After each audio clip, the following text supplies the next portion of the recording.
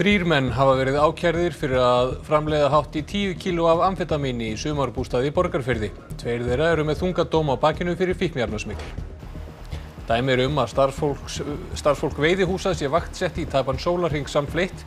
Starfsgreinasambandið ætlar að fá vinnueftirlitið með sér í lið til að grípa í taumana. Allt bendir til þess að stjórnin í Færeyjum missi meiri hluta sinni í þingkostningum þærlandi í dag. Kjörstöðum var lokað nú klukkan 7. Mikil andstaða er í bæjarstjórn Reykjanesbæjar við kísilverksmiður, Stakksbergs og Torsil.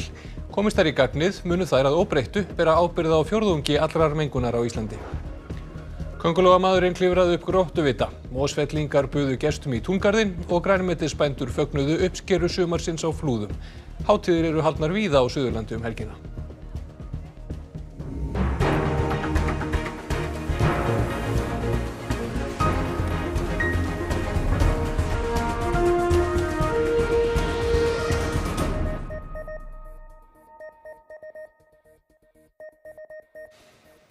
Gott kvöld. Héraðsaksóknari hefur ákert þrjá menn fyrir að framleiða 8,5 kíló af amfetamíni í borgarfyrði. Ásamt þremur til viðbótar eru þeir einnig ákærðir fyrir stórfælda kannabisrækt á Suðurlandi. Fyrst var greint frá málinu í fjölmiðlum 8. júni. Dægin áður höfðu fjórir verið handteknir að sögn lögreglu grunaður um framleiðslu fíkniefna og peningaþvætti. Fréttastofa sagði skömmu síðar frá því að tveir hinna handteknu væru Einar Jökull Einarsson og Alvar Óskarsson sem hlutu fyrir um áratug níu og hálfs og sjö ára fangelsistóma í svokölluðu pólstjörnumáli. Það snerist um innflutning á tögum kílóa af fíknefnum til fásgrúðsfjörðar og var þá stærsta fíknefnasmikl Íslandsögunar. Ákjara í málunu frá í sömar var gefin út í fyrradag. Hún er í fimm liðum á hendur sex manns. Í einum þeirra eru Einar og Alvar ákerðir á samt þriðja manni fyrir að hafa staðið saman að framleiðslu á 8,5 kílói af amfetamíni í sömarbústað í Borgarfyrði. Í öðrum ákæruleið eru þreimenningarnir ákærðir á samt þremur öðrum, tveimur körlum og konu, fyrir að rækta yfir 200 kannabisplöntur í útihúsi við bæ á Söðurlandi. Hinnir þrýr ákæruleiðirnir varða minniháttar fíknihefna og vopnalagabrót og steraign. Gerð er krafa um upptöku á ókjörum af tækjum og tólum sem notuð voru við ræktunina og amfetaminframleiðsluna. Gaskútum, lömpum og viftum í tögatali, opni, tölvum, leysermælitækjum, mælikönnum, sírustiksmælistrimlum, öryggisglerugum og mun fleiru. Þá krefst saksóknari einnig að um 2 miljónir í reyðufé verði gerðar upptakar í ríkisjóð sem og Toyota Corolla bifrið. Starfsgreinasambandið ætlar að fá vinnu eftirlitið með sér í lið til að kanna aðbúna starfsfólks í veiðihúsum.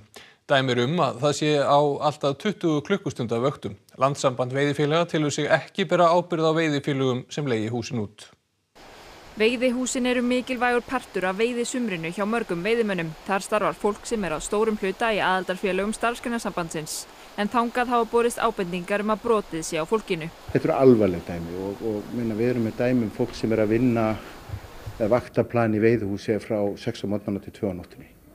Það, er, eru mjög alvarleg dæmi og það eru fleiri slík dæmi og við myndum væntalega að reyna að fá vinnu eftirlit og vinnustada eftirlitið okkar með, í, með okkur í lið og, og, og, og ganga í þessi mál. Starfsgreinasambandið óskaði eftir upplýsingum frá landsambandi veiðifélaga um kjarasamninga og aðbúna starfsfólks í veiðihúsum um miðjan ágúst.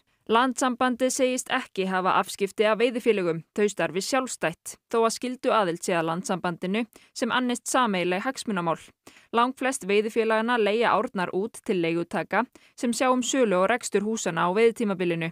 Þetta segir Flósi í svari til landsambandsins umhugsunarvert. Aðsambandið geti hunsað svo stóran hluta af rekstri veiðifélaga og veiðihúsa. Þá séu vonbriðið að landsambandið síni engan áhuga á að aðstóða SGS og fyrri sig allri ábyrð. En ég hef mikla refasendur um í ljósi keði ábyrður og fleiri hluta að þau geti sagt með þeim hætti, sko það kemur okkur ekkert við hvernig kjærasamningar, aðbúnaðar og annaðir er að því við erum búin að leiði þetta frá okkur og þeim ber að sjá til þess að þeir leigutakar sem þeir trista standi við það sem þeim ber að standa við. Svolítið að, að, að ég held að, að þessi uh, handarþvottur landsabansins, hann standist engan veginn. Næstu skref segir Flósi vera að hafa samband við veiðihúsin sjálf og inna þau eftir upplýsingum um aðbúnað starfsfólks. Nún er svona þessu veiðitímabili svolítið að ljúka, svo kannski verður eitthvað þess að býða vorsins en við erum hvergin er í hætt. Lauruglan í Hong Kong beitti táragasi og skaut gummikúlum á 2000 mótmælenda sem virtu að vettu í bann sem sett hafði verið á mótmæli í dag. Þá sprautaði laurugla lituðu vatni á mótmælendur til að geta borið kennsla á þá. Aukin harka hefur færst í mótmælinn síðustu vikur. Í dag kveiktu mótmælendur elda, köstuðu bensínsprengjum að lauruglu og gerðu aðsuga að þinghúsinu. Síðustu helgi skaut lauruglan viðvörunarskoti og beindi byssum að mótmælendum. Ekki kom til slíkra aðgerða í dag en minnst sex voru handteknir í dag og í gær þar meðal Joshua Wong og Agnes Chow forsprakkar líðræðishefingar ungs fólks í borginni. Allt bendir til þess að stjórnin í Færium missi meiri hluta sinni í þingkostningunum þar í landi í dag. Ný fiskveðlaug, ferðamál og húsnæðismál hafa verið fyrirferðarmikil í kostningunum. Yngvar Þór Björnsson, frettamæður, er stattur á kostningavöggu í sendiskrifstofu Færi á Íslandi. Yngvar, eru fyrstu tölur komnar? Fyrstu tölur koma eftir já, einungis nokkra mjöndur. Kjörstaðir opnuðu klukka nýju morgun að íslensku tíma og var sem loka núna um sjöleitið og búistu við því að já, á næstu mjöndu þá berist tölur frá minniþorpum og bæjum en uh, áður önum fyrir lengra þá skulum við kíkja þess á um hvað þessar kostningar hafa snúist. Tæpla 38.000 manns er á kjörskrá og nýju flokkar er í frambóði en sögulega hafa fjórir flokkar jafnan dilt með sér um 90% um atkvæða. 33 þingminn er á færiska þinginu en kosið til fjögur ára í senn. Stjórn þjóðveldisflokksins og jafnaðaflokksins sem nýtur stuðning sjálfstjórnarflokksins og framsóknar undir fórstu Axels Vaff Jóhannesen hefur nú nauman meir hluta. Skoðanakannanir benda þó til þess að hún missi meir hluta sinn. Stæstu stjórnar anstöðuflokkarnir, sambandsflokkurinn og fólkaflokkurinn, sjapframt eru hægri flokkarnir á færiska þinginu, bæta við sig ef marka má skoðanakannanir. Nýju fiskveðlaugin sem samþygt voru á kjörtímabilinu og snúað meðferð veiði heimilda og breytingum á eignarhaldi í fiskvinnslu hafa verið fyrirferða mikil í aðdraðanda kostningana. Færingar hafa farið þá leið að bjóðu pluta á veiði heimildum sem ekki er sáttum. Þá hafa húsnæðismál verið ofalega á bögi en vegna þess að efnahauðstendur vel kjósa fleiri ungir færingar að kaupa húsi í heimalandinu. Hefur það leitt til þess að húsnæðisverð hefur hækkað verulega. Ferðamönnum hefur fjölgað samhliða og voru ferðamál því áberandi í stefnuskan flokkana og meðal annars hefur verið tekist á um gjaldtöku í ferðarþjónustu. Og hér hjá mér er Petur Pettersen, sendi hér að færiða á Íslandi. Petur, hvenar má búast við fyrstu tölum? ja, ta er ta koma sånn fljót, men eg hugsa ta ta sidaste spau som er gerst fyrir kostningarna. Ta seier at ta verður kostningaskifti í ferjum og ta verður skifti sånn at ta verður ein maður meira fyrir stjórn anstæðinga sånn at ta verður vinna men ta bara ein uh, alltings uh, lautingsmaður ferjum så ta er som ta kan breytast. Vet du en kan körsokna av som? Fyrir Hversu margir eh, kursu? Já, það er margir sem kursu, það ser ut til að það er meira núna, það ligger svona um, um 90, 88, 90% som kursu og það er siste tölur við hafa herst núna, það er margir som það kemur kannski um 90% í ár. Nú er stjórnmála landslæðið frekar flókið í færum. Þetta er ekki einungis vinstri og hægra ásinn heldur er þetta ja, avstað til sambandsvitani og, og, og trúarmál og, og, og annars líkt. Ja, það gera meira flókin i ferjum og það sem það eru flokkar som bæði eru vinstru og som eru, eru, eru, sambandsflokkar og eru, eru sjálfstæðisflokkar og það er flokkar som eru meira som religiøser og sånne og það gera það er mikið að velja mellom það er ni flokkar núna, tveir nye flokkar som eru til kausa núna Það er það sem er spáum þessar flokkar, það koma nokk ekki inn í, í lögtingi færjum, men, men það gerir myndir flóking og það er 33 uh, látingssessir í færjum til svona sjö flokkar, svo það er ekki margir í. Er líklegt að það verði einhver stefnubreiting í samskiptu við Ísland verði stjórnarskipti og, og munir þetta hugsalega einhver áhrif á hauvíkur samningin, svona til að mynda? Ja, það er, það er stóru spurningur Og det er under valg, kostninga barrottene, her det vi framme.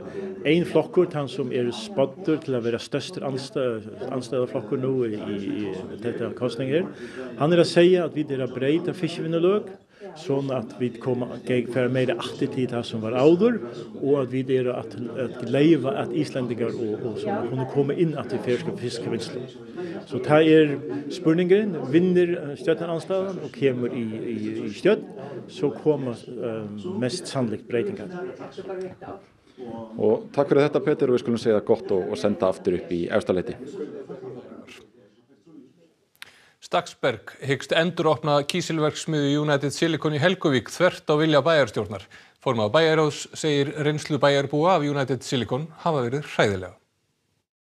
Stakksberg, dótturfélag Arjónbanka og eigandi kísilverksmiðunar áformar að koma henni í ganga á ný. Arjónbanki tók yfir verksmiðuna þegar United Silicon var gjaldþróta. Umhverfstofnun stöðvaði starfseminna 2017 eftir að mikil mengun mældist og ímsu reyndist ábótavant við framleiðsluna. Samkvæmt svari frá umhverfstofnun myndir losun gróðrúsarlofttegunda aukast um 10% á Íslandi ef verksmiðan færi aftur í gang. Stakksberg áallar nú að reysa um 52 metra háan skorstein hérna við versmiðuna í Helguvík. Bygging hans er á meðal þeirra endurbóta sem hefur verið lofað til þess að minka mengun frá versmiðunni.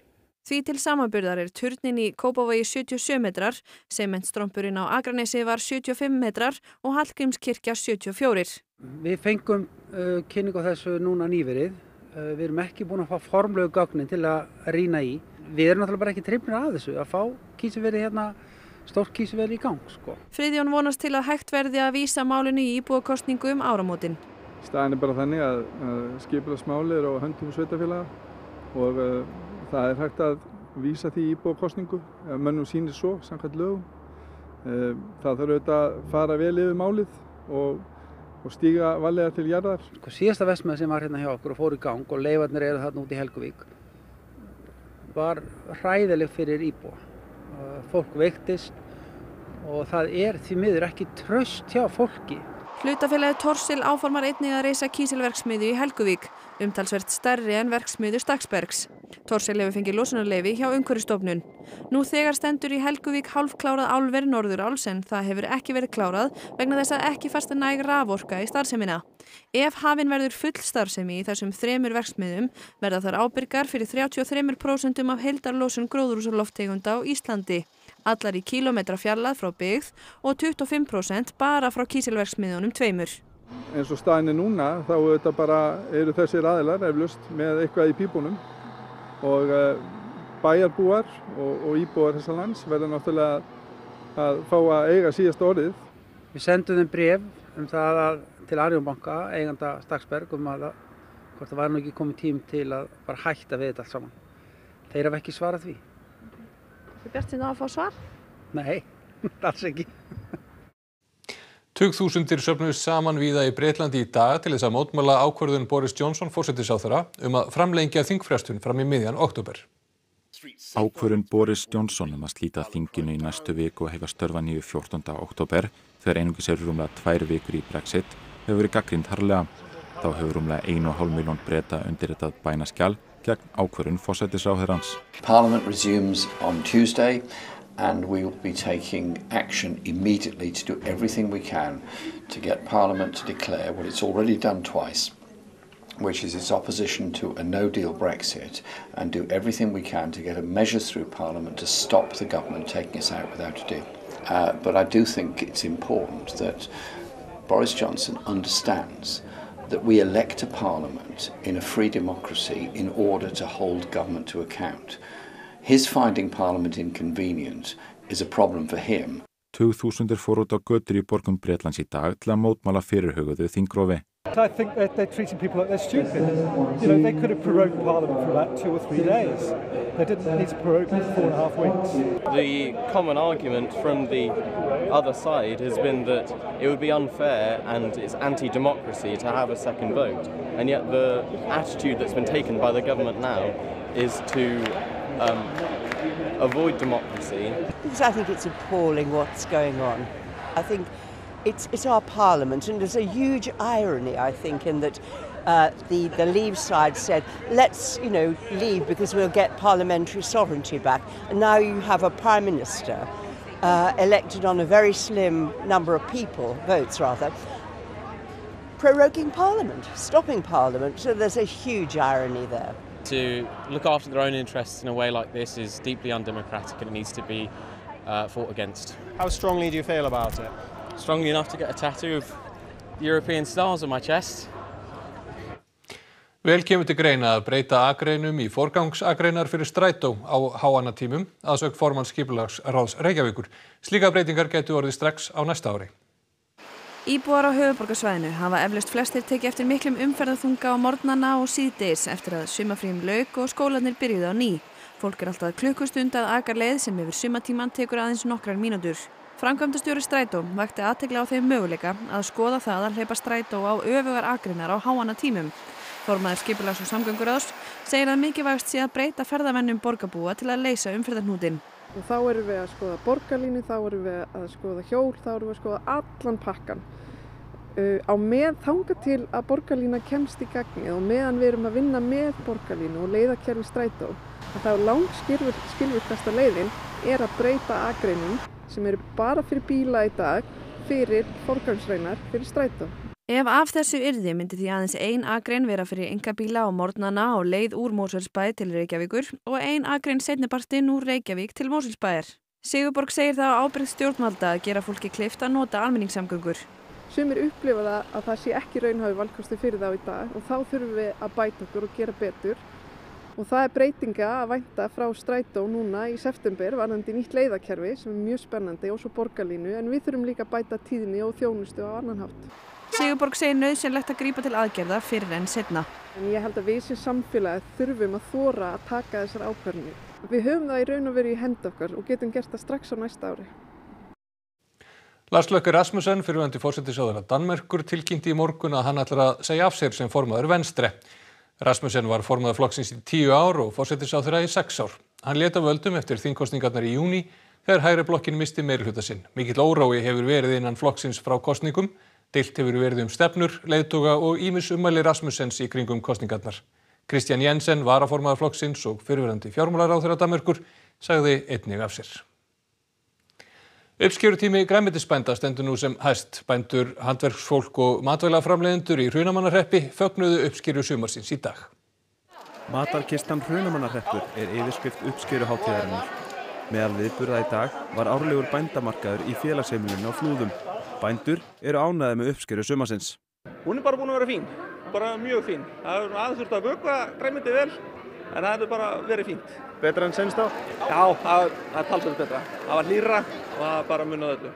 Er hún eitthvað skrítnar á litin þessar gulrætur hefur? Já, þetta er svona regnbúa gulrætur. Það er verið að prófa þetta í svona tíma. Við erum að selja heimagert bakkelsi og heimagerðan brjóstsikur og, og hefur bara gengið mjög vel. Svo sé ég að þeir eru með brott líka. Það lítur að vera vinsalt hjá þeim sem eru dulir í rektinni. Já, hann, hann ríkur út í það. hann er náttúrulega gríðarlega næringamikill, þannig að hann er vinsæll. Þetta er ég að saga á vinnustofunni og við erum að saga,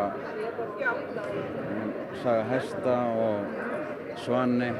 Kvennfélag Hrunamanna lét ekki sitt eftir liggja og bakaði vöflur og kleinur fyrir gesti og gangandi. Getur þú bakað svona mörgu játnum í einu? Já, er, ég var einmitt að uppfærast, ég hef aldrei gert þetta fyrr. Þannig að þetta er ný upplöfum fyrir mig að baka svona mörgum. Ég átt að dáðstafum hvað ég get að baka á mörgum, bæði pönnum og vöflujátnum. En nú er ég bara búin í hópin. Er ekki búin að brenna neina? Nei, nei. Ef eitthvað fyrir úrskýr, þá er það bara jætna hérna á okkur í. Og allir lögðu sitt að mörgum við sölubásana. Er þið búin að selja mikið í dag, krakkar? Já. Og hvað er vinsalast? Um, Gulrætunar. Það er alltaf næstu vinsalar. Er það bestar? Já. Hvað ert þú að selja? Popp. Og er pop gert hérna í sveitinni? Já. Stundum. Og hvað er mikið í hverjum boka? Uh, bara svona hálfur póki. Það er bara svo cirka? Já.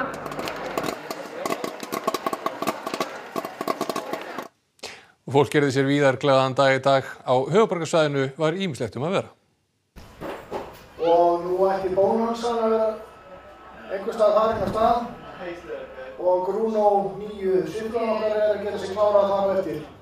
Um helgina er bæjarháttíðin í túninu heima haldin í Mósfellsbæ. Þar kennir ímissa grasa. Til dæmis var á tungubökkum í dag hægt að fylgjast með flugvéla og fornvélasýningunni Wings and Wheels eða Vangjum og Vögnum. Viðbörðurinn var haldin af flugklubbi Mósfellsbæjar og Ferguson félaginu á Íslandi.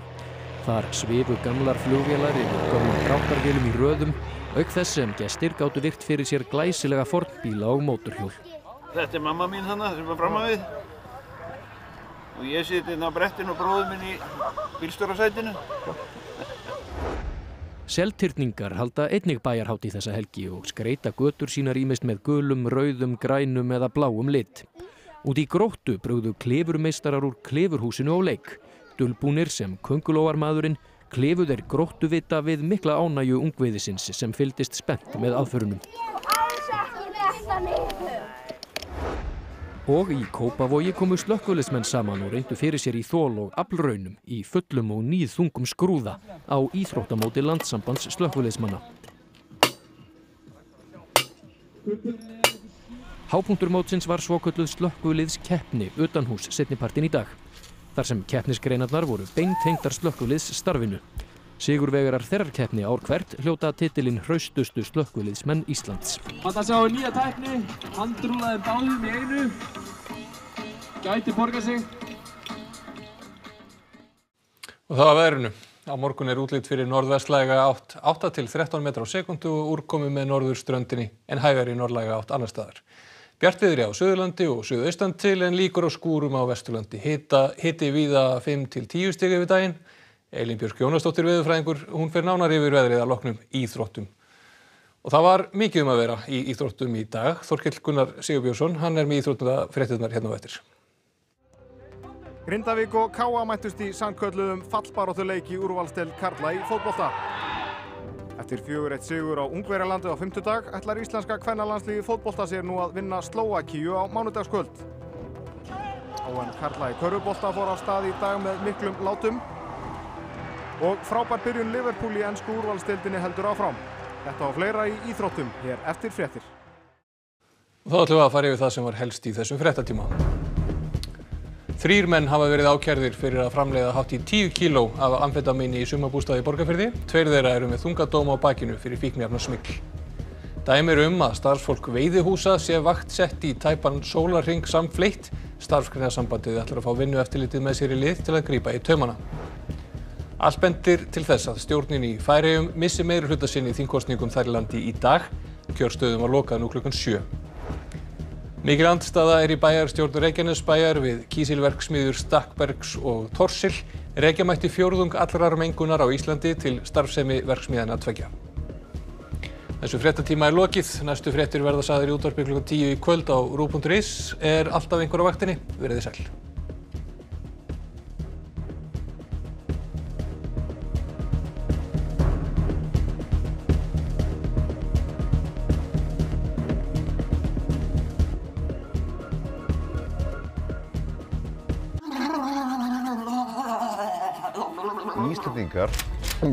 Þeir dansa ekki eftir takti.